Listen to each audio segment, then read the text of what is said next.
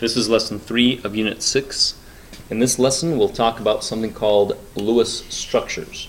Now, these will be drawings of molecules, and the man that came up with it was Mr. G.N. Lewis, an American chemist. Very important structures that he came up uh, essentially how to draw molecules. So, let's get to it. First of all, let's identify uh, the simplest version of this, and that is drawing the Lewis structures of individual atoms. This is pretty simple. Uh, you write the atomic symbol, and then you put dots around the atom. The dots represent valence electrons, which remember are the s and p electrons. So, if you take a look at phosphorus, phosphorus has five valence electrons, so you would put one, two, three, four, five dots around phosphorus. Magnesium has two, 2. Fluorine has 7, 1, 2, 3, 4, 5, 6, 7. Now you'll notice that we try to put the uh, dots as far as possible from each other, especially in the case of magnesium. Notice they're on opposite sides. That's to represent the fact that electrons repel each other. You always want to do this. You want to put them as far as possible from each other. You'll also uh, see that we double them up. After you've put four around each side, then you begin doubling them up.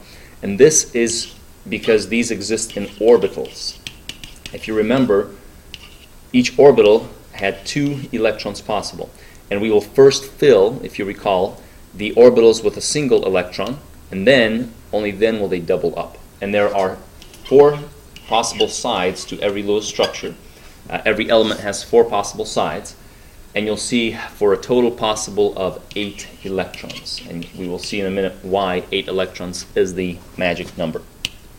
So what we'll do is the drawings uh, themselves then will, when the elements bond, the elements will bond by combining their valence electrons. So each element brings to the bond its own number of valence electrons, like phosphorus here, and fluorine. And then phosphorus and fluorine will share these electrons so that each element becomes like a noble gas. Now, noble gases have eight valence electrons, and that's why each one of these will try to have eight.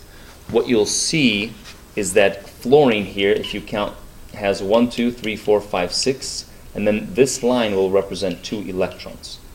And likewise for this fluorine, likewise for this fluorine. So this is what these structures will look like. This is what we're going to draw by the, uh, by the time we're, uh, time we're done with it. What governs this whole idea is the octet rule. The octet rule, the word octet refers to eight, and it refers to eight valence electrons. So every element bonds to have eight valence electrons to be like a noble gas. And this concept we've uh, mentioned many times before.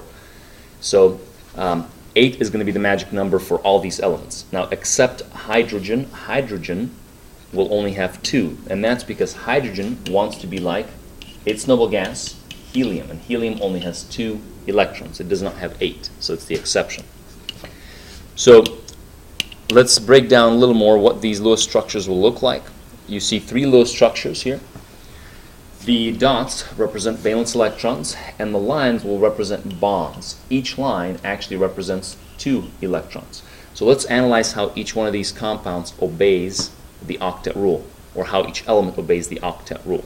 Notice this fluorine right here has 1, 2, 3, 4, 5, 6, and then each line has two electrons, so 7, 8. We have 8 valence electrons. He's nice and happy, like noble gas. Notice this nitrogen, 1, 2. We said these two, so that's 3, 4, 5, 6, 7, 8. Nitrogen has 8 electrons. And these three fluorines, are, uh, two fluorines are actually the same as the one on the left. They also each have 8 valence electrons. Everybody's obeying the octet rule. You'll notice that down here, if you take a look at this sulfur on the left side, it has one, two, three, four, and then each one of these is two electrons, so five, six, seven, eight. Definitely obeying the octet rule. This sulfur is really the same exact thing except on the other side, so it is obeying the octet rule. Carbon, if you take a look, has one, two, three, four. Then each one of these lines is two valence electrons, so five, six, seven, eight. It is obeying the octet rule. And finally, in this structure, carbon is obeying the octet rule. We can see the eight electrons around carbon. Each hydrogen is obeying its version of the octet rule by having two electrons. Hydrogen wants to be like helium again. So we will uh, show you how to draw all these structures. We'll actually go through the rules of drawing them, and then we'll present uh, a few examples. So here are the rules. Don't worry if the rules seem confusing at first. They will clear up once we do some example problems. The first thing we do is find how many total valence electrons there are in the whole molecule. So if you, for example, have the molecule water, H2O, you'll count the valence electrons that come from oxygen and that come from hydrogen. You'll total them up. Then you will arrange the atoms around one another. Here it says the least electronegative element goes in the middle. So, except hydrogen. Hydrogen can never go in the middle because hydrogen can only have two electrons around it. The reason the least electronegative element goes in the middle is because electronegative elements, remember, want electrons. So if you're in the middle, your electrons will be pulled away from you. So if you want electrons, you will not go in the middle. And you'll see this as we play it out here. That's rule two. Rule three, we will then connect all the atoms by lines. Again, a line is a bond of shared electrons. And then we add the remaining electrons around every atom so that every has 8 and hydrogen has 2. Now, if it turns out, the next rule says, if it turns out that there aren't enough electrons on an atom, then we will proceed to make double bonds and triple bonds. We'll make um, some atoms share 4 electrons or up to 6 electrons. And then you'll, you'll see this play out here. Once you're finished, it's a good idea, just like in math, they taught you to check, and you check by counting to make sure that every element has eight. Everybody's obeying the octet rule. Um, and then the, the total number of valence electrons also matches. Okay, so again, these rules, I know we flew through them pretty quick. Refer to them back as we draw the actual structures. We're actually going to do three example problems, and then we'll practice a bunch of these in class. So why don't we do this example problem? Draw the Lewis structure for NF3. The first step is set to count the valence electrons.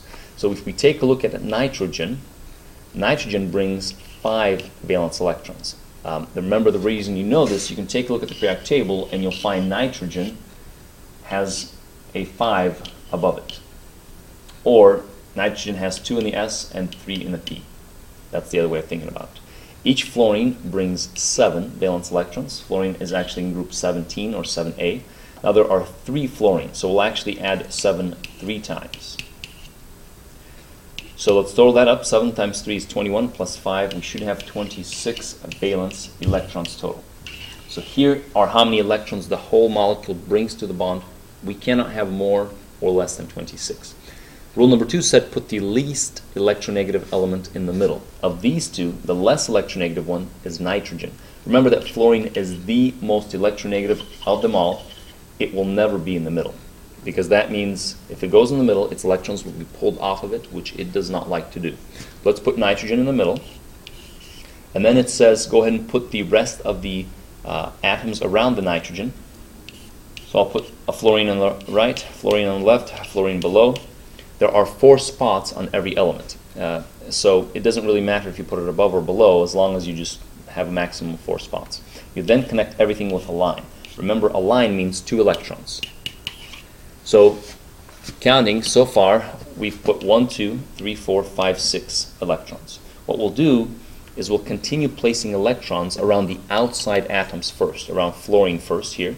And we'll count until we get to our total, which is 26. So let's try this. We have 1, 2, 3, 4, 5, 6, 7, 8, 9, 10, 11, 12, 13, 14, 15, 16, 17, 18, 19, 20, 21, 22, 23, 24, once all the outside atoms are filled, we can go ahead and come inside and do the inner atom, and that will give us 25, 26. Notice our 26 valence electrons have been completely distributed. We can now check to make sure every element has 8 electrons. Take a look at this fluorine. We have 1, 2, 3, 4, 5, 6, 7, 8. This works. We have this, compare, uh, take a look at this nitrogen. We have 1, 2, 3, 4, 5, 6, 7, 8. That matches. This fluorine is the same as the one on the left. That matches and this fluorine is the same as the one on the left. That matches.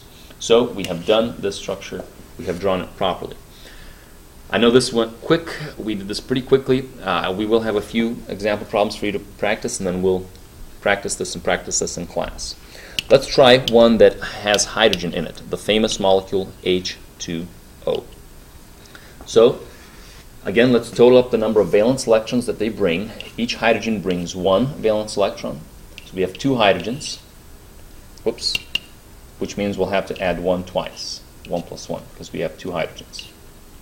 Each oxygen, if you take a look, brings 6 from the periodic table, for a total of 8.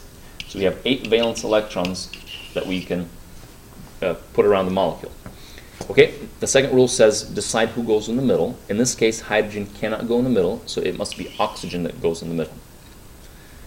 Put the two hydrogens around oxygen. Usually you put it on the left and on the right. Connect them all with a line, which represents two electrons.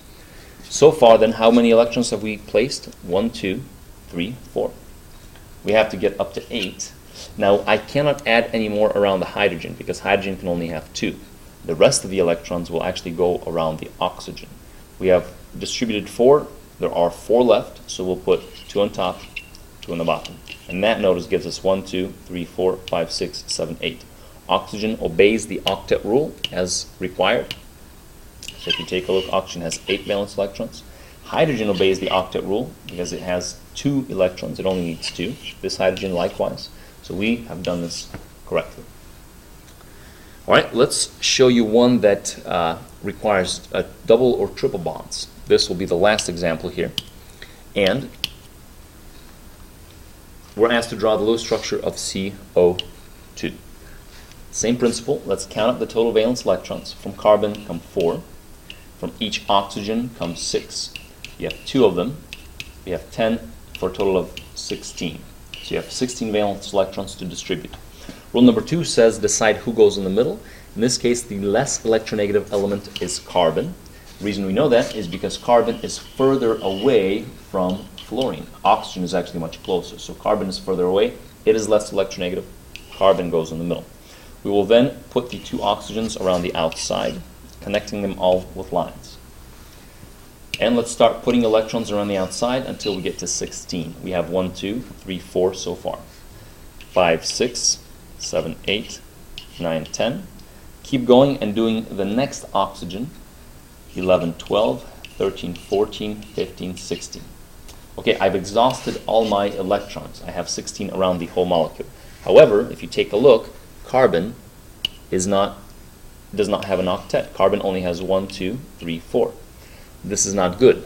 Now, I cannot simply draw in two more electrons here and two more electrons there. That's because they never brought that many electrons. I've exhausted, I've distributed all my possible electrons. So what do we do? Anytime a middle element does not have enough, this is when you begin to draw double bonds and triple bonds. So here is what we will do. We will ask this oxygen to share two of its electrons. And we will ask this oxygen to do the same. What this does is this does not reduce the number of electrons oxygen has, Notice oxygen has 8 already. If you take a look, 1, 2, 3, 4, 5, 6, 7, 8. By moving them on the inside, oxygen still has access to them, but this allows then carbon to have access to them. And this is how we will solve this problem. We will pull this on the inside, we'll make it into a line, and then we will erase these electrons.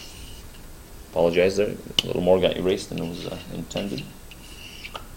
And we will do the same thing on the left side. We'll draw this line, and then why don't we erase being a little more careful, these two uh, electrons. So now if you analyze it, it all works out. Carbon on the inside has 1, 2, 3, 4, 5, 6, 7, 8. It obeys the octet rule. Oxygen on the left side has 1, 2, 3, 4, 5, 6, 7, 8. It works.